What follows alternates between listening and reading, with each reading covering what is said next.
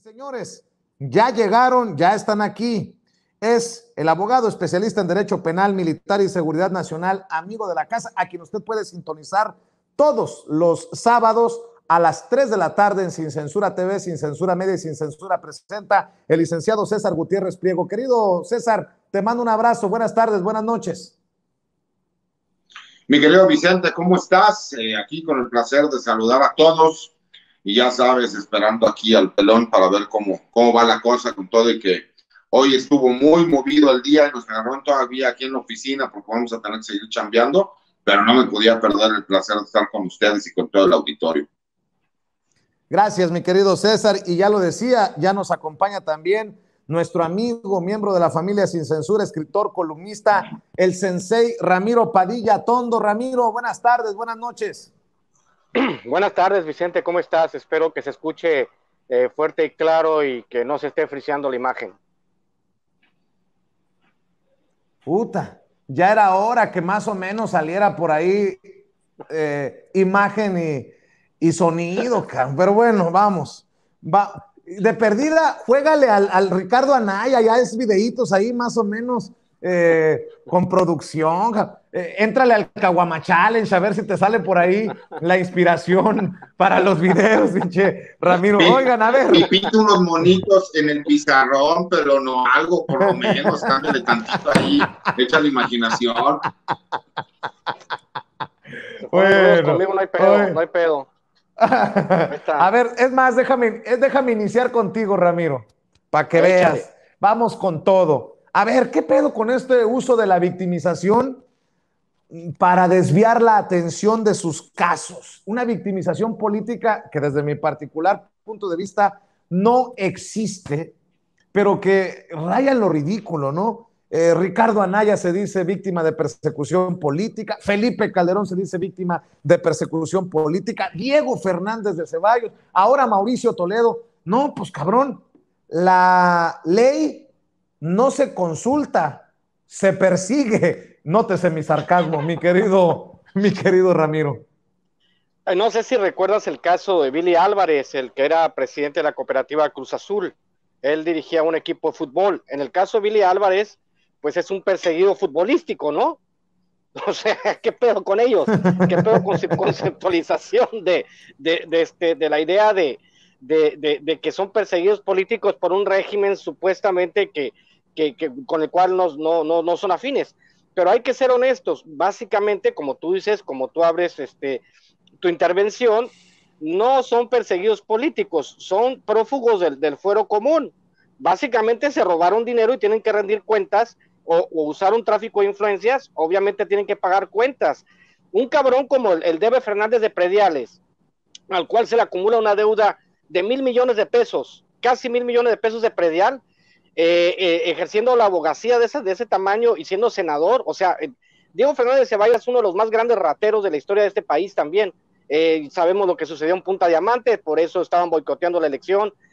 Felipe Calderón, que, que ha sido, que, que, ha tratado por todos los medios, se robó la elección, ha boicoteado todo, están totalmente sucios, esta bola de malandros, y ahora todo el mundo se tira al suelo y dice persecución política.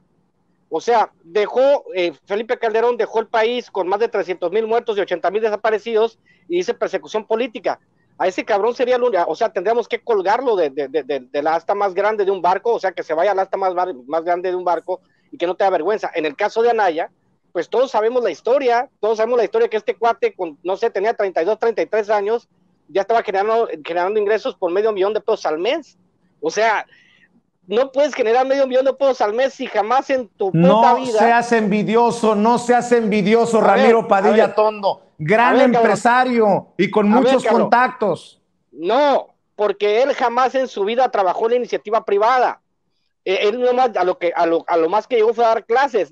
A ver, si hay profesores aquí en la audiencia, que me diga algún profesor de la audiencia si ellos pueden tener el, tren de vida que tiene eh, Ricardo Anaya. Por supuesto que no o sea, básicamente la idea básica eh, eh, de, lo que hacía eh, Ricardo Anaya era comprar un terreno a 5 pesos el metro cuadrado y luego revenderlo a 2.500. Lógicamente es, una mecánica muy parecida a la que utilizaron los, los, los hijos de los hijastros de Botas Miadas. Este, lo dice Areli a Areli Quintero y Anabel Hernández en la familia presidencial.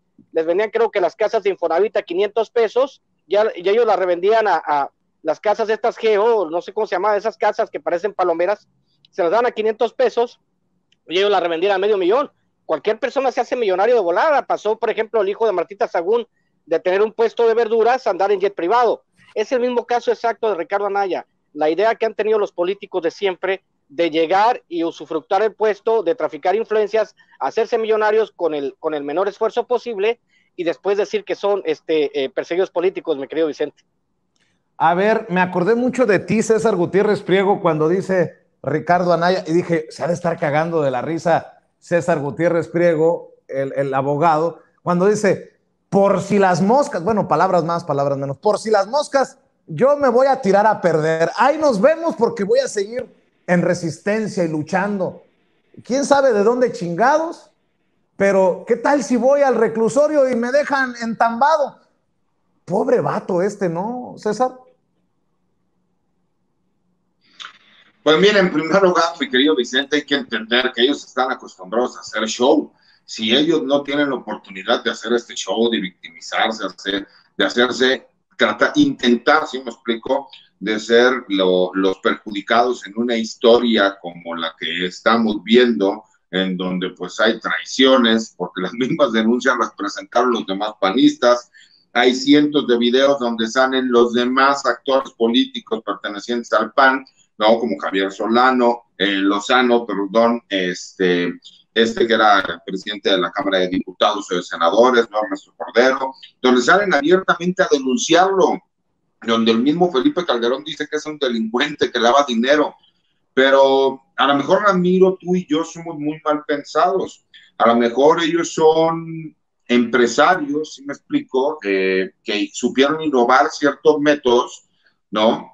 Que desafortunadamente como desconocían las leyes, pues eh, esos métodos tan innovadores que ellos veían, pues, se llama lavado de dinero y enriquecimiento ilícito. Tal vez ese era el pequeño detalle que ellos no entendían. Y, y, me encanta el detalle porque es lo que yo les explicaba, como todos muy valientes, todos son muy valentones, pero de lejos, ¿no? De lejos es, yo estaré aquí, no se van a deshacer de mí y seré una de las personas que estará en el cambio constante del país porque la lucha que hacemos los gringos desde Atlanta, pero ya me voy, porque no vaya a ser que me vaya yo ahí a comparecer y termine el bote. Y qué distinto fue cuando vimos al presidente de la República, cuando, lo cuando el famoso desafuero, que no se les olvide que fue el, el Procurador General de la República en aquel entonces, Rafael Macedo de la Concha, por aquello de que el presidente no es rencoroso, pero yo sí, para que la gente no se lo olvide, y cómo el presidente tuvo la grandeza y la gallardía de ir al Congreso de la Unión a dar de forma pública cuál era su postura con uno de los mejores, tal vez, eh, comparecencias que yo he visto de un actor político, ¿no? Y con un discurso que a mí me cautivó y me impactó y ahí me convertí en uno de, sus seguidores, a lo que estamos viendo, las mamarrachadas que vemos al día de hoy, que por supuesto les das cachetada con guante blanco a toda esta bola de, de, de, delincuentes políticos, que ya te platicaré, que estoy ahí, ahí, checando, que gran parte de ellos pertenecen a este famoso grupo de, de ultraderecha que es el Yunque, en donde, pues como se pelearon las nenas y ahorita que ya salieron ¿no? Hacerles caso a todas las denuncias que se presentaron entre ellos mismos, pues entonces se quieren victimizar, ¿no? Y, y, de acuerdo a lo que yo escuchaba que platicabas con Alina, te decían que el candidato de la oposición es Anaya. Sí, a ver, pero hablemos de los porcentajes de lo que están hablando. En un porcentaje de intención del voto menor al 10%, Anaya sería quien llevaría eh, la ventaja sobre el Telles. Imagínate qué tan flaca está la callada para que cualquier candidato de Morena, es más, si se les ocurriera decir, va el pelón Ramiro Tonto de candidato, gana de calle. Que dijeran, va el competente licenciado César Gutiérrez, gano de calle. O sea, así de mal está la oposición, mi querido Vicente. Oye, eh, César, ¿y en qué momento se puede solicitar ficha roja? Porque pues parece que no va a presentarse Ricardo Anaya eh, al juzgado eh, ¿en qué momento se le declara prófugo de la justicia oficialmente? Nosotros decimos, se fugó, se les peló Baltasar, pero en realidad eh, no se ha hecho oficial, ¿no? A pesar de que él habla de exilio y estas cosas. ¿En qué momento? A ver, lo que primero, lo que pasa es que primero lo están citando para que él comparezca ante una autoridad judicial y que ante una autoridad judicial se le haga del conocimiento que existe una imputación en su contra y el delito por el cual se le está acusando. ¿No? Yo sé que todos somos muy mal pensados, el, que se está imputando con enriquecimiento ilícito es porque a lo mejor no hemos entendido que él es un empresario brillante y que hacía negocios, como dice el Juan Ramiro, en donde compraba algo de a cinco pesos y lo vendía en 500 mil, ¿no? Desafortunadamente la autoridad pues dice no tiene lógica respecto a cómo tú compras, porque incluso hay un precio mínimo de, de compra en cuanto el metro cuadrado de la propiedad que tú me estés manejando, manifestando, y en cómo tú lo vendes, ¿no? Y todas esas famosas triangulaciones de dinero que todos conocíamos y que incluso recordemos que aquí hay otros actores políticos que se encuentran involucrados, ¿no? Aquí lo que se hace es, se le dice, tú en tal fecha tienes que presentarte ante un juez de lo federal porque se te va a hacer del conocimiento que existe una imputación. Si él no se presenta, pues por supuesto que el juez federal podrá tomar las determinaciones de acuerdo a la imputación que realice el Ministerio Público. Y ahí es donde ya se podrá solicitar que toda vez que es inminente que no se va a presentar ante la autoridad judicial, para por lo menos tener la oportunidad de que se le haga del conocimiento la imputación que se le hace y la acusación, entonces sí el juez ya podría girar una orden de aprehensión. Y posteriormente a que el juez girara una orden de aprehensión, por el delito que se le está imputando y que él no se presenta, entonces sí ya veníamos todos estos mecanismos de activar una ficha roja de Interpol y todo lo demás. No te creas que sería inmediato, pero realmente a lo mejor en menos de 15 días estamos hablando que ya existiría una ficha Interpol para localización y detención de, de, de Ricardo Anaya. Me zurro de la risa, mi querido eh, Ramiro. cómo me vas a ver este jueves el Caguama Challenge, mi querido Vicente? ¿Te imaginas no. cómo me vas a ver? No, no, hasta yo te voy a acompañar a distancia. Yo, yo creo que lo vas a hacer con una Miller Light para que le dé más sabor a él, no, para que no tenga no, No, no, no, va a tener que ser una cerveza artesanal de allá de Atlanta, Georgia, que yo voy a conseguir. Va, bueno. Oye, Ramiro, me zurro de la risa cuando veo las defensas que hace. Yo ya le estaba creyendo a Ricardo Anaya, nótese mi sarcasmo, que era un perseguido político y luego sale Fox y sale Calderón a defenderlo. Dije, no, no, no, no mamen, algo anda mal aquí. Y, luego hay defensas bien cagadas. Eh, es perseguido político, pero no podemos meter las manos al fuego por Ricardo Anaya. Hasta en los medios de comunicación, cabrón, dice uno, Oye, que investiguen a estos cabrones para ver cuánto le están pagando por hacer una defensa. Al estilo de el defensor de los malandros, Ciro Gómez Leiva, que defiende a cualquier malandro con tal de eh, defenderlo de López Obrador, ¿no? Qué, jodido se ve este espectáculo. Ya se convirtió en un circo. Oh, no, y es divertidísimo, Vicente, porque pues de volada dicen que por, su boca muere el pez. En el caso, por ejemplo, del, Diego Fernández Ceballo, que hace una defensa este, encendida de, Ricardo Anaya, pero luego le, rescatan un video donde está diciendo, oh, es un corrupto. Y ya nomás falta, falta la canción del video, la, la de, ah", cuando dice, ya se queda acá llorando, ¿no? ¿qué, qué con ustedes?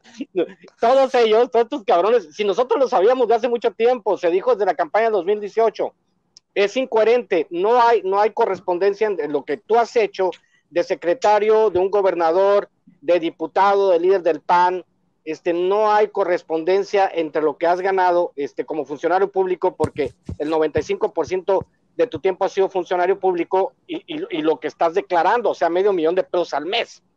Ahora, hay que entender que estamos abriendo un nuevo capítulo. Esto es importante que el público sin censura lo entienda. Anteriormente, hace algunos años, tú no podías, o sea, no te iba a perseguir nadie porque de hecho yo creo que fue Mario Fabio Beltrones el, el, que dijo una declaración muy interesante que decía, este, no, pues es que si robó, pues que devuelva el dinero y ahí muere. De ese tamaño el cinismo, pues, de ese tamaño. si robó, que devuelva el dinero y ahí muere, ¿no? O sea, no, señores. Usted, usted, como dijo el presidente, usted entra en la justa medianía al servicio público, usted se va a la justa medianía. Claro está que, que el, el, asunto más fácil en, en, las cuestiones de la política es básicamente el tráfico de influencias. O sea, tú tienes, yo lo, que he dicho muchas veces, una gubernatura lo mínimo que te deja, si eres un gobernador corrupto, son 100 millones de dólares. Es por eso que no hay nada más bello que escuchar a, un taxista acapulqueño decirte cuando te va paseando por la costera Miguel Alemán, que te vaya diciendo, Mira ese edificio que está ahí, cabrón. Ese edificio se lo quitó el gobernador a fulano empresario, güey. Y lo agarró, le dio 100 mil dólares, güey. Y lo, y, lo vendió en 2 millones, cabrón. Así era. De, en todos los estados, cabrón, del que quieras, Tlaxcala, eh, Colima, los estados más chiquitos. Así era. Mínimo 100 millones de dólares te echabas a la bolsa. Entonces era, era un estado, digamos, una clase política depredadora. Ahora que estén llorando porque los agarraron con las manos en la masa, es que no chinguen, que sean hombres, que, que aguanten vara, ¿no? Como ellos cuando... Oye, dime, dime. Oye, es que no son ni, ni eso, valientes, pinches cobardes, quedan reducidos a memes. Por eso lo están tundiendo en redes sociales, porque ya ni el Ferras, ¿te acuerdas aquel que decía, yo le metí la bala fría, ¿te acuerdas? Dijo, yo lo, yo me lo chingué porque dijo que se iba, no sé qué. Ándale, ese cabrón. Dijo que me metan al bote, salgo en no sé cuántos años y la chingada. Es más, hasta el que en paz descanse, el de la canaca, el que me amarraron como puerco, salió a denunciar públicamente porque le habían quitado no sé cuántos, mis 50 mil pesos. Y Ricardo Anaya dice, no, chinguen a su madre, yo me voy. Que, mira, acabo de ver un tweet eh, de Ricardo Anaya, un retuiteo, que es de meme, mi querido, eh, mi querido Ramiro. La unidad de inteligencia financiera no cuenta con alertas en contra de Ricardo Anaya. Él mismo lo retuitea. Pues no que es perseguido político, cabrón. solito se mata. Nos da un chingo de material. O sea, o sea que sabíamos que el Chicken Little nos iba a dar un chingo de material para muchos años. Te digo, yo en general, yo tengo algo de agradecimiento con él. Gracias a Ricardo Anaya, lo he dicho en otros programas, gracias a Ricardo Anaya, eh, se rompió la, alianza con Peña Nieto. Peña Nieto no, prefirió Peña Nieto entregarle todo en bandeja de, plata a, López Obrador que dejar que Ricardo Anaya llegara presidente. Porque acuérdate que, él decía que lo primero que iba a hacer era meter a Peña Nieto al bote, ¿no? Y Peña Nieto no le, no le sentó muy bien eso. Traicionó a Peña Nieto después de, la, reforma energética, ¿no? Este, todo lo demás que hicieron, este, eh, por ejemplo, lo, que tenemos que agradecer a Naya es, que haya sacado de, la jugada a Calderón y a Margarita Zavala. Imagínate una, una elección donde todos estos pinches, todos esos güeyes que lo están defendiendo, todos estos pendejos, todos estos este, eh, sicarios de la pluma, ficheras del periodismo de la que hemos hablado, todos estos cabrones, imagínate este, lo que hubieran hecho con las encuestas. Imagínate a Ciro Gómez Leiva diciendo, eh, la encuesta de Milenio eh, tiene a Margarita Zavala 80 puntos arriba de López Obrador es una tendencia que ya no va a, ser reversible. Entonces, no mames, no mames. Imagina, gracias a Naya, gracias a Naya, no sucedió nada de eso. Hay que agradecerle, es la parte buena. Tiene su parte buena Naya. La parte mala es que a lo mejor tiene que pagar a la sombra algunos años por, por ser tan, tan puerco, pues, a la, a la hora de enriquecerse. Pero la otra parte es que si él fue tan puerco, desgraciadamente Calderón, este, ¿te acuerdas? Calderón se prestó tres millones y medio de pesos cuando estuvo en manobras porque andaba pateando el bote, porque era, era, era un pobre diablo Calderón cuando le dan la dirección de manobras. Eh, Vicente Fox eh, fue, es el primer presidente de la historia que pide prestado dinero antes de llegar a la presidencia porque no, no tenía ni en qué caerse muerto y ya después ya sabrá, se, se arma sus fideicomisos y hace el centro Fox, pero todos ellos son una bola de malandros que no han sabido vivir de manera honesta nunca en su vida, mi querido Vicente. Así es, oye César, y bueno, también ahora aparece información de que podrían formar de una red, eh, una red delincuencial, formar parte Ricardo Anaya, Luis Videgaray, el que fuera aprendiz de canciller y secretario también de Hacienda con Peña Nieto, y el propio Peña Nieto. Yo te pregunto, eh, mi querido César, ¿qué papel, eh, en dónde queda la fiscalía en investigaciones sobre esta presunta red criminal? Y te digo porque tenemos un año con los Oya rascándose los tanates en su casa, valiendo madre, y, tenemos a, personas señaladas como el Saco de Pus, Javier Lozano, como Roberto Gil Suárez, en esta red de sobornos para la, la ley, para las reformas energéticas, y ahora se señala también la posibilidad de que sea directamente el expresidente Luis Videgaray. Pero, y entonces dice uno, ¿Por qué caminan las cosas tan lentas? ¿Qué papel juega la fiscalía o qué papel jugará eh, en este momento histórico? ¿Podemos aspirar a justicia en nuestro país cuando estamos con todo este ruido? Mi querido Vicente, yo les decía a la gente que siempre se tiene que buscar la justicia sobre la legalidad. y desafortunadamente siento que le dan demasiadas vueltas. A ver, trajimos a Lozoya porque en teoría Lozoya era la llave para poder ir contra toda esta bola de corruptos y red de corrupciones. Se supone que Anaya nos daría los elementos, las pruebas, los momentos, las situaciones, los videos, porque así fue como él negoció, si me explicó, el poder venir al país y no llegar detenido como tendría que haberlo estado, buscó un criterio de oportunidad, negoció un criterio de oportunidad. Ok, aquí sí valdría la pena exigirle al fiscal general de la República el por qué no vemos los resultados inmediatos que nosotros esperábamos tenían que haber pasado. ¿Por qué?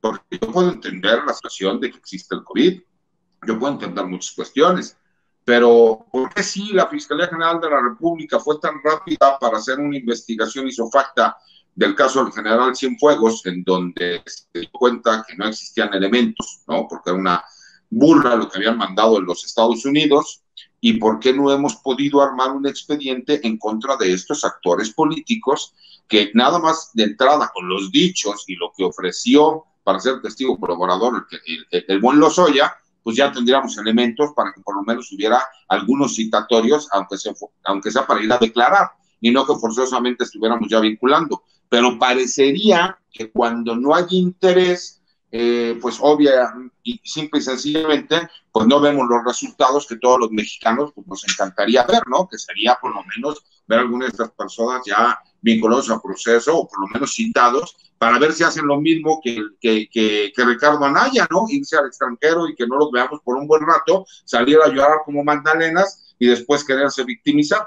Y eso desafortunadamente creo que sí es una pifia, y yo lo comentaba el otro día, para mí el fiscal general de la República eh, era mi gallo para que fuera secretario de, de, Seguridad y Protección Ciudadana, eh, fue fiscal general de la República, creo que es un cargo al que todo abogado aspiramos, es un gran sueño, es la culminación de su carrera y creo que desafortunadamente le ha estado faltando mucho como fiscal general y una carrera brillante que pudo él haber tenido como abogado litigante y, como funcionario público se va a ver opaca por, por, por esta forma de trabajar de la Fiscalía General de la República. Ah, que la canción, pues qué duro lo que dice César Gutiérrez Priego. Eh, mi querido Ramiro, Marco Levario Turcot, el director de la revista Etcétera, este defensor también de los malandros, dice, arrecia la presión de las redes oficialistas contra críticos del gobierno. Sergio Sarmiento, un liberal a toda prueba, un pensamiento activo siempre tiene toda mi solidaridad, cariño y admiración. Quien se mete con uno se mete con todos. Pues un, ¿qué dijo? Un pensamiento activo siempre, pues como que se le detuvo un poco el pinche pensamiento para sacar una encuesta como esta que sacó hace horas. ¿Está AMLO detrás del intento por encarcelar a Ricardo Anaya? Sí, no, no sabemos. En lugar de investigar este cabrón, saca una encuesta. Eso es eh, chingar la madre. Ahora resulta que con esta red de la que le pregunto a, a, César Gutiérrez Priego, mañana saldrá con otra encuesta que diga, ¿está Andrés Manuel López Obrador detrás del intento por encarcelar a Ricardo Anaya, a Enrique Peña Nieto y a Luis Videgaray? No mames, y estos personajes son los encumbrados, los que siguen acaparando los espacios en los grandes medios de México, no mamen. Espérate, espérate, espérate. Eh, deja acomodarme. Mató AMLO al mal muerto, pintó AMLO el mar rojo. Ese es uno de los misterios del tercer milenio. No mames, o sea, o sea, no mames, o sea, este, es culpable eh, López Obrador del coronavirus, eh, ¿Es culpable López Obrador de las almorranas de Sergio Sarmiento? No lo sabemos. Haremos una encuesta. ¿Es culpable López Obrador de las almorranas de Sergio Sarmiento? Sí, no, no sabes. No mames, encuestas pedorras. O sea, Sergio Sarmiento, acuérdense, señores, les voy a refrescar la memoria. En, uno de esos pinches programas este, eh, seniles, claustrofóbicos y, medio extraños que hacen eh, Telerisa o TV Apesta, decía él que esas bolsas de los sobornos este, para los diputados que aprobaron la reforma energética eran para la nómina. ¿Cómo chingados vas a tomar en serio a alguien como Sergio Sarmiento, pues? sí, sí, sí, me acuerdo de eso. Sí, me acuerdo de eso. y, menos, y menos al Marquito Levario. Marquito Levario, compadre, no, hombre. O sea, entiendo que usted quiera, quiera este, eh, eh, quiera patrocinar su revista de acuerdo a las donaciones, pero parece que las donaciones no están llegando, compadre, pues no sé qué estará pasando. Si ya Ricardo Alemán está pidiendo por favor que le donen a tu revista, pues eso también es el beso de la muerte, cabrón. Que Ricardo Alemán me diga, que vamos patrocinando el canal del Ramiro, me pega un balazo, cabrón, no chingues. por favor. no, está cabrón esto, ¿eh? y los que se vienen, y los que se vienen, ¿eh? Porque si prospera esto que conocemos, eh, señalamientos contra Javier Lozano, por ejemplo, que aparece con los Ferris, que aparece con Alarraqui, que aparece aquí, Yacuyaya, es el chile de todos los moles, pues me quiero imaginar que, nada, nada más imagínense, me quiero imaginar pues el ruido, el desmadre que harán los medios en los que colabora el saco de pus en caso pues de, o, Roberto Gil Suart, o, o cómo ¿Cómo interfiere en las coberturas con su opinión eh, por los problemas de sus amigos, que son muchos, del saco de pus, eh, querido eh, Ramiro? No, pues es que bueno, también al, Javier Lozano hay que recordar que junto con Salinas son los padres de la, de la desigualdad moderna. Para la gente que no sabe, este, este, este, cuate Javier Lozano fue instrumental para la implementación del outsourcing, o sea, que una generación de mexicanos que no tienen vacaciones, que, que, no tienen prestaciones, que, que, firman su renuncia antes de, de, de, de firmar contrato, eh, a, ese, a él, a Javier Lozano, ese cabrón que se pasea en el zócalo diciendo que López Obrador es lo peor de lo peor, este, eh, pues hay que decirle básicamente pues que él, él es el padre de esta desigualdad, eh, que se han desplomado los salarios, de que haya, de que haya un cuate, el rey del outsourcing también, por cierto, que está prófugo. ¿Sabes qué estoy pensando, eh, Vicente? Que a lo mejor Anaya puede ser agregado cultural en, Israel, como Tomás Cerón y Andrés Ruemer, ¿no? Pueden ser eh, también agregados culturales allá. el enlace empresarial, Ramiro. Se la succionó Ramiro con esa propuesta, César. El problema es que se alcanzó, o sea, lo peor de todo.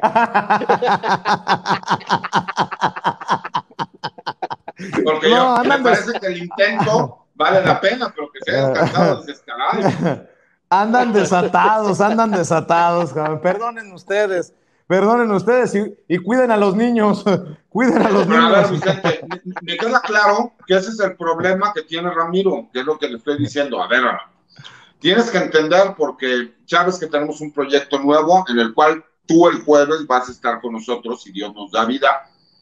Eh, y que, pues ya lo que le digo, le digo, oye, es que esto de ser youtuber como que está complicado. ¿Te acuerdas que ya nos habías preguntado alguna vez tú que qué pensaba yo de que me dijeran ser youtuber, que yo te decía que yo no me consideraba un youtuber. Hoy te puedo decir que sí, ya me considero un youtuber y que eso es gracias a las participaciones que hemos tenido.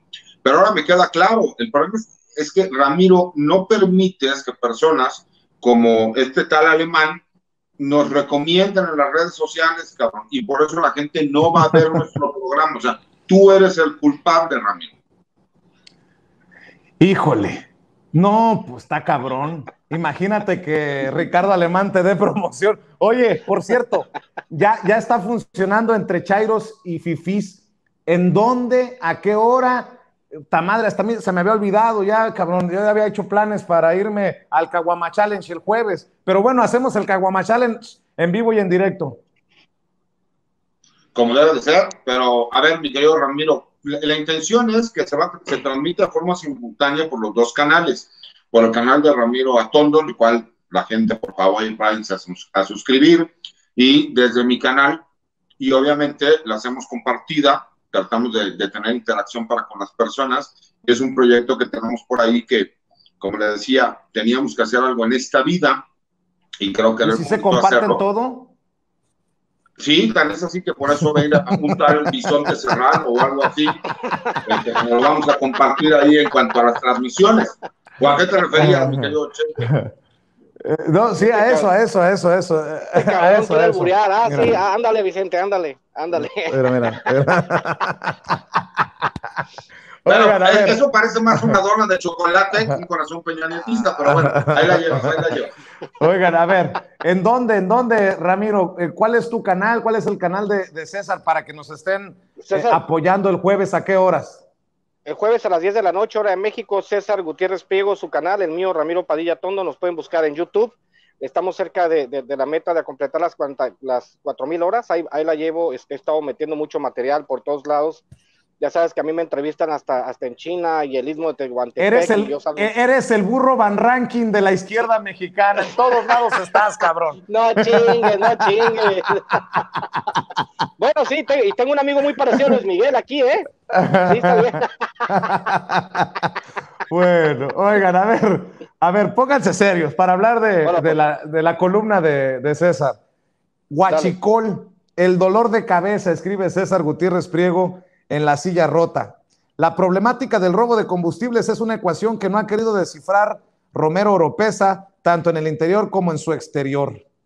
La problemática del robo de combustibles es una ecuación que no ha querido descifrar eh, Romero Oropesa, tanto en el interior como en su exterior. Hasta el momento, en todos sus informes, solo ha quedado demostrada su alta incapacidad para dar cumplimiento al proyecto de nación del presidente. Aún no se ha podido reducir el costo de la gasolina, ni tampoco se ha logrado parar la merma, la merma económica en Pemex, ni mucho menos se ha podido fincar la responsabilidad a Emilio Lozoya Austin. Hoy se corona el cúmulo de omisiones y mentiras que pone al descubierto una estrategia fallida. Hasta el momento, Octavio Romero Oropesa se ha dedicado a darles chamba a sus amigos y recomendados, a darle contratos de capacitación a su compadre, hacer omiso ante los abusos de sus allegados con diversos empleados. En consecuencia, varios medios de comunicación revelaron que tan solo en el año 2020 se reportó en la, en la Bolsa Mexicana de Valores durante el primer trimestre del año una pérdida de 562.250 mil millones de pesos, 62% superior al descalabro del 2019 que fue de 346 mil millones de pesos, dice César Gutiérrez Priego. Uta, ahora sí estuvo cabrona, ¿eh, César? No, y no viste la segunda parte donde me, me le voy encima a quien tenían como encargado del de, área de salvaguarda de, de, Pemex. Y todo esto vino a colación, mi querido Vicente, porque, a ver, tú sabes que yo tengo una gran relación con el personal militar por lo que es la historia de mi vida, porque soy abogado defensor especialista en esos temas, porque tengo amigos desde la infancia y por un sinfín de situaciones. Y durante meses me estuvieron haciendo llegar cierto tipo de documentación denuncias e incluso eh, demandas de carácter laboral, en donde muchos de los jefes que ellos tenían estaban haciendo, la verdad es que malas prácticas respecto a los gastos de viáticos y todo lo demás que los elementos de salvaguardia y de otras áreas de ahí de, de Pemex se estaban llevando a cabo. Y cuando ellos lo denunciaron, en lugar de hacer una investigación interna y ver qué es lo que pasaba, mejor los corrieron, les rescindieron los contratos o les levantaron actas administrativas. ¿Y qué fue lo que yo me puse a hacer? Pues obviamente me puse a analizar qué es lo que pasaba y me di cuenta que incluso esta estructura de, del área de salvaguardia de, de Pemex, eh, todos recordarán quién era el general Trawitz, el cual incluso se encuentra con una orden de aprehensión vigente y con una ficha de localización internacional que siempre les he dicho y lo, y lo platico en la segunda parte de la columna que pues yo sé que las áreas de inteligencia andan muy ocupadas, pero si quieren yo les ayudo, empiecen buscando por Canadá, dicen que por allá anda, ¿no? Y en Ontario, para que no le pierdan tanto, yo sé que es Canadá, Canadá es grande.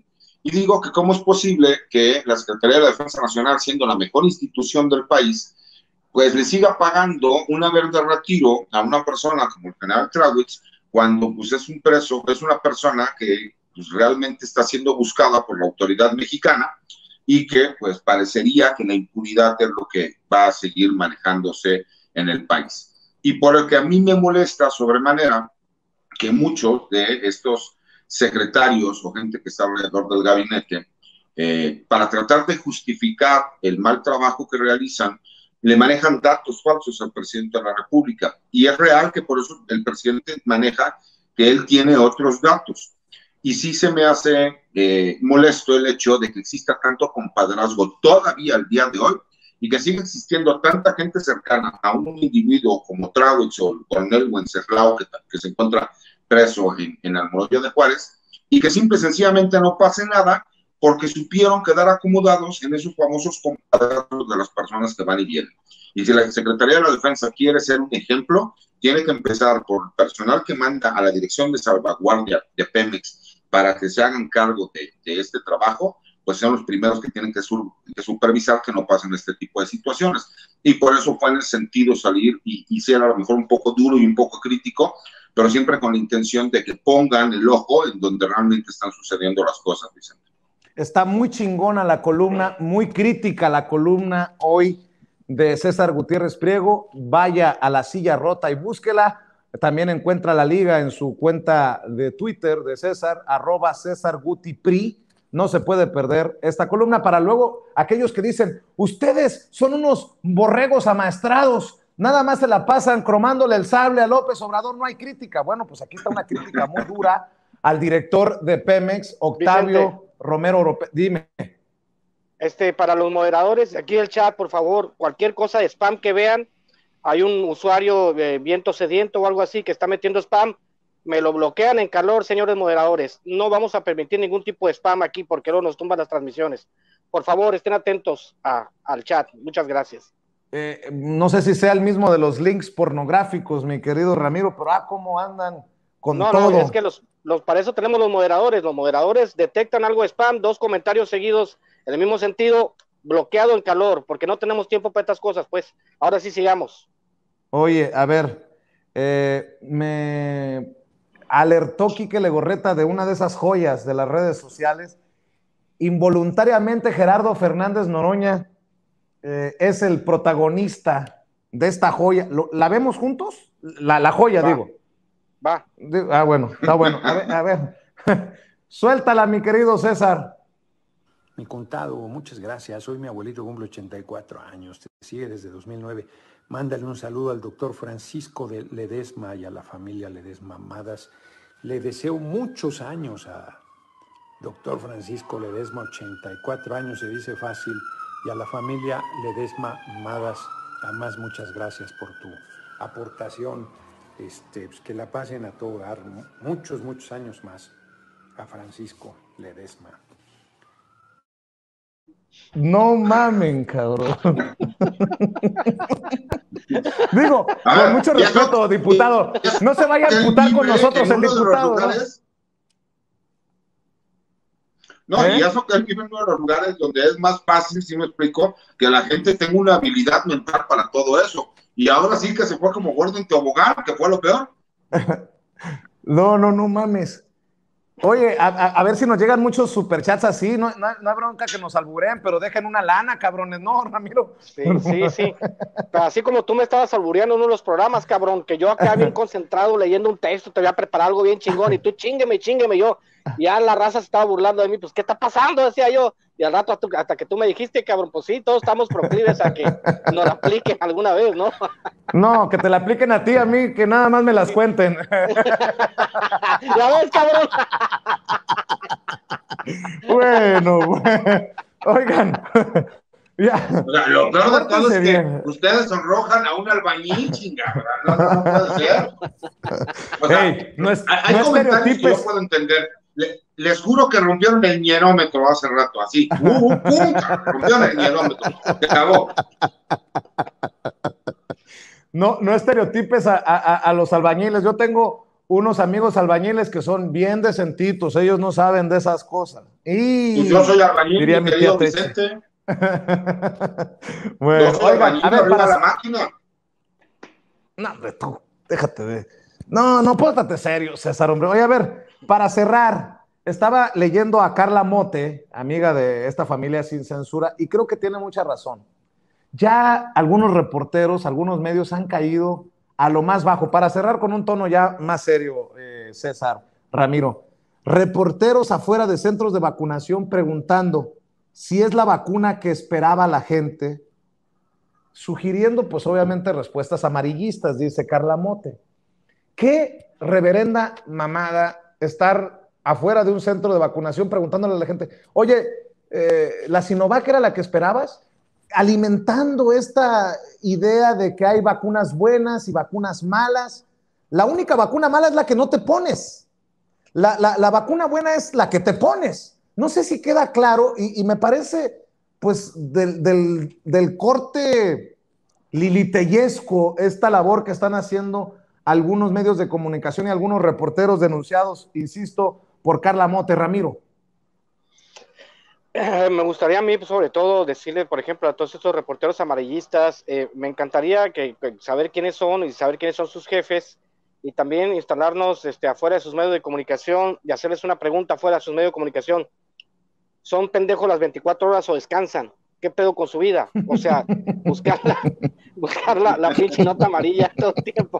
No, ponte serio, Vicente, estoy, estoy hablando serio, cabrón, ya. Bueno, ya. Este, la onda es que eh, esta idea que tienen los medios de comunicación, que hace una campaña que ya sabemos desde que inició la pandemia, orquestada para, chingar a, López Gatel, para destrozarlas, para manipular las, las, cifras, ahora que se desplomaron los contagios y las muertes por, el, coronavirus, precisamente por la, por la gigantesca estrategia que hizo México, que es el único país que ha, tenido la posibilidad mezclar muchos, muchos, muchas vacunas, de conseguirlas donde sea, ese sí es un acierto para López Ebrar, no, no de los agregados culturales, pero ese sí, que es mucho mayor. Este, pues debería ¿Quién es ese López Ebrard, ¿Quién es ese tal López Ebrard? No, no, no perdón, Marcelo Ebrard. Marcelo ah, Ebrard, ah, perdón. Ah, el canciller Ebrard, perdón. Se me fue ahí. Es un acto fallido, dijo Freud, un acto fallido. Estoy, como amo tanto al presidente, se me va. Este, bueno, la cuestión es que eh, eh, cuando han trabajado eh, eh, todo este, toda esta circunstancia de, tratar de minimizar el esfuerzo gubernamental para, vacunar a la población, a sabiendas, por ejemplo, de que los países ricos acapararon las vacunas y dijeron chinguen a su madre todos los demás países, hay países que todavía a estas alturas no reciben una vacuna, este, pues es una, como tú dices, una reverenda mamada, y está bien que sigan haciendo eso. Al final de cuentas, la estrategia que se está utilizando en este momento es a todos esos medios irlos secando de a poco y los vamos a seguir exhibiendo. Y hay que, hay que poner esos medios con, con, nombre y apellido para que sepa la gente que están desinformando y que la negligencia que han utilizado todos ellos, TV Azteca al decir que no le hicieran caso a López Gatel, todos ellos, eh, que por cierto hoy, hoy Simón Levy sacó un tuit diciendo que, que Ricardo Salinas Priego este, de nuestros impuestos patrocinó la, la, Orquesta Azteca como con 1.800 millones de pesos, para poner un ejemplo, y se niega a pagar impuestos todavía.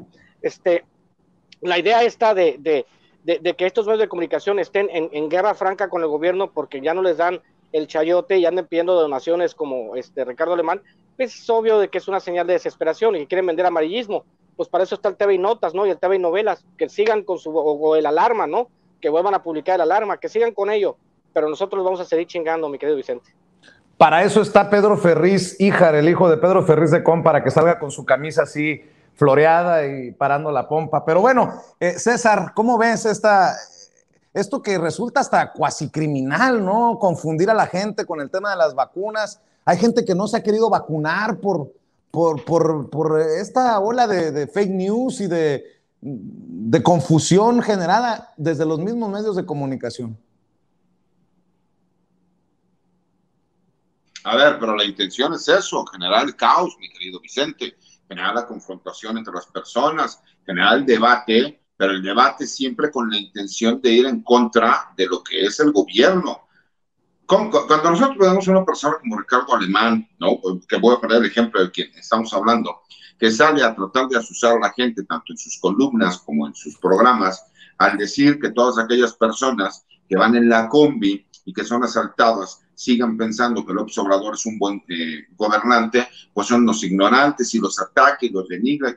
Y el problema es que el ignorante es el cuando estamos hablando que es un delito del foro común y no del foro federal y que tendrías que reclamar al, gobernador del estado. Pero aquí lo que han estado haciendo los medios es crear una falsa sensación a la gente de que solamente hay un par de vacunas que son efectivas y que todas las demás vacunas son basura, por así decirlo. Y es curioso, por ejemplo, yo, la vacuna que a mí me tocó fue Sinovac. Es la vacuna con la cual yo me vacuné, tengo ya las dos dosis. Aquí sigo, señores, gracias a Dios. A mí me dio COVID el año pasado. Amigos míos que se fueron al extranjero, que se pusieron Pfizer, desafortunadamente alguno se infectó y falleció. Entonces, es completamente falso lo que dicen, pero es la, sensación que se trata de dar a la gente. Y más cuando vemos, ¿no? El hecho de tratar de crear una molestia alrededor de la sociedad, de la población, y tal vez tratando de ir hacia un público en específico, ¿no? Porque sabemos que hay un público en específico que eh, se cree superior a las demás personas. Y ahí es donde entra esta famosa problemática, ¿no? El que cree que tiene un derecho superior a los demás. Y creo que ellos están tratando de explotarlo porque se han dado cuenta que por, por más que han intentado, no han podido eh, bajar la popularidad ni del presidente ni de la transformación de México. Entonces están tratando de crear una falsa sensación de inseguridad para con las personas, para que no importe todo el esfuerzo que se hizo para poder conseguir estas vacunas y poder estar vacunando a la población en general, sino que es el hecho de ahora crearles un temor respecto a que si no te toca la vacuna que ellos dicen que es la correcta, entonces no tiene caso que te vacunes o estás en riesgo de que te pueda pasar algo. Y así de perversos los medios de comunicación que están, son afines a estos grupos de poder que vienen de tantas generaciones en este país, que lo único que les importa a ellos es crear una falsa sensación de inseguridad a la gente para que para que se pueda dar un, acto de molestia, de encabronamiento, de enojo en contra del presidente y en contra del gobierno que él maneja. Y eso es lo que están intentando, lo están intentando de forma sincronizada, el famoso nodo sincronizado. Y lo peor es que la gente tiene que estar preparada porque cada vez van a intentar y se van a atrever a hacer más cosas, porque saben que si no avientan ahorita todo lo que tienen, en las próximas elecciones nuevamente el proyecto del presidente no solo va a ganar, va a arrasar. Y saben que la mayoría de ellos van a quedar no solo en la ruina o van a poder terminar en la cárcel con todos los corruptores que han hecho durante tantos años. Nada más para cerrar con el tono sarcástico que me caracteriza. Qué lástima que no me entrevistaron a mí porque les hubiera dicho, me tuve que conformar con la gringa. Yo quería la rusa por mi inclinación hacia la izquierda. Entendió el que entendió. Pero bueno, bueno, bueno, bueno. Oigan, a ver, eh, nada más por no dejar. ¿Tú, ¿Tú, sabes quién es Luis Berman, eh, César? Nada más dime sí o no. No. Ok. ¿Tú sabes quién es Luis Berman, eh, querido Ramiro? No es el, un tal Berman, algo así. Ándale. Ah, bueno. ¿Por qué no lo invitamos un día de estos al programa? Y pues escuchamos lo que tiene que decir. Anda muy enojado conmigo. Me escribió ayer, óyeme, prófugo del ácido fólico, Vicente Serrano. Me anda robando las frases. me llegó otro video donde me mientas la madre, una segunda ocasión. Ya, ¿no? Dame la jeta y por alusión, mentártela yo de frente. ¿Dónde te encuentro o cuándo hacemos un programa? Macaco croquetero lamescrotos macuspano. No mames. hasta se, se, se proyectan con, con, A ver, Berman, un tal Berman, Luis Berman, te invitamos a Sin Censura Nocturno un martes y hacemos el programa que tú quieras con mucho gusto para eh, que dices tú, me mientes la madre, pero pues para no dejarte con ganas, en tercera ocasión chinga tu madre por el momento mientras llegas a sin censura. Mi querido Ramiro Padilla Tondo, ¿por qué no, cerramos invitando a la gente para que te apoye con tus libros y para que sigas suscribiéndote, suscribiéndose a tu canal y te apoyen en redes sociales y sigan alimentando esta eh, aura del burro Van Ranking de izquierda que ya te, ya te coloca el buen Quique Legorreta. órale, Quique, órale. Este, ahí les mando primero que nada, están pidiendo el corazón peñanietista. Eh, pequeño Chario Ilustrado, mañana estoy viajando a la Ciudad de México, estaré un par de semanas, dos, tres semanas allá. Eh, ya mandé imprimir algunos libros en la Ciudad de México para los que quieran, nos ponemos de acuerdo. Van a ser solo 100 libros este, para los que quieran autografiados en la Ciudad de México. Estamos trabajando para llevar los libros a, a Guadalajara también. Estoy trabajando con la editorial. Y pues ahí suscríbanse a mi canal de YouTube, Ramiro Padilla Tondo, y me van a buscar, ahí me van a encontrar. He estado subiendo clips, ahí están todos mis libros. Próximamente ya estoy trabajando en el próximo libro que va a ser la continuación del Pequeño Chairo Ilustrado, que va a estar todavía mejor que el Pequeño Chairo Ilustrado. Este, ya luego les doy el título, ya luego te mando la portada para que veas qué maravilla de portada, qué, qué trabajo hizo mi diseñadora Carmen García Núñez de M Studios en Monterrey, para los que, para los que no sepan, es quizá una de las mejores diseñadoras editoriales del país, Carmen García Núñez de M Studios, que es la que hace todas mis portadas. Y este, y pues síganme arroba Ramiro Atondo en, en Twitter, y pues vamos a pegarle en el canal de César Gutiérrez y el mío, este, este próximo jueves, 10 de la noche, va a estar Vicente Serrano, y como va a ser un tono un poquito más relajado que este canal, así ya que ya sabrán de qué se va a tratar el próximo jueves. No se lo pierdan. Agárrate, cabrón, que me las debes. Oye, oye, eh, mi querido César y Ramiro, casi casi le digo, eso, mamón. Eh, los que quieran el libro autografiado, dice, hijo de la... Y bueno, mi querido César, también cerremos invitando a la gente para que busque tus libros. Ah, no, no, todavía no tienes libro. Para que te apoyen en redes sociales, querido César. Fíjate, incluso me puse a pensar ahorita que dices, ya que hicimos un proyecto como entre Chairos y Fifis, podríamos a lo mejor escribir un libro, el buen Ramiro y yo, y podría ser el Chairo Fifi ilustrado Malón Babs. O sea, yo creo que sería un pinche exitazo, ¿sí me explicó? Pero exitazo, ¿por qué? Porque es como la ideología de lo que manejamos. A ver, la piensa que en este caso el Chairo sería Ramiro y yo sería el Fifi pero también se puede dar el caso que sea al revés, si me explico. Y esa es la parte que tú vas a conocer, mi querido Vicente Serrano, el día jueves a las 10 de la noche, que Dios nos dé vida para que la gente nos acompañe, que puedan estar ahí y que se den cuenta de qué, qué es lo que va a suceder y cómo va a suceder. Porque después de que vaya el gran Vicente Serrano, vamos a tener también a la gran Meme Yamen. Entonces, todos los jueves que estén ahí con nosotros, que me acompañen los sábados de 3 a 4 de la tarde Sin Censura, presenta con las mejores entrevistas que hay en seguridad nacional, temas de, Fuerzas Armadas que puede haber en todas las redes sociales, incluso en cualquier programa bien, ¿no? Y esa es la, la invitación que hacemos, mi querido Vicente. Sale y vale, mi querido César. Y además dicen, Ramiro, que no te hagas, que ya trabajes los fines de semana para que tengas tu propio espacio en Sin Censura TV, así como César. Eh, sábado, domingo, cuando tú elijas. Por cierto, no les voy a adelantar nada para no, para que no lo deseen, pero ya les diré yo con el transcurso, en el transcurso de mañana y el jueves, lo que les voy a enseñar el jueves por la noche. Con eso de las enseñaderas, dice César, pues yo también tengo lo mío. Ya les voy a decir que les voy a enseñar. Entonces, ¿qué? No, este, eh, eh, para decirle a la gente sin censura que sí estamos trabajando en, hacer un espacio fin de semana, va a ser un, fin, este, un espacio eminentemente literario con entrevistas con antropólogos, sociólogos, escritores, poetas. Ya estamos, ya estamos trabajando en eso. Denos poquito más de oportunidad y tendremos un espacio probablemente los domingos en la tarde. Ya nos estaremos poniendo de acuerdo y veremos. Sobres, pues, un abrazo, un abrazo, Ramiro, un abrazo, César. Gracias por hacer este espacio. Sale. Gracias por echar a, hacer un desmadre de este espacio sin censura. Gracias, muchachos. César Gutiérrez Priego y Ramiro Padilla Tondo con los martes picantes, diría Quique Legorreta.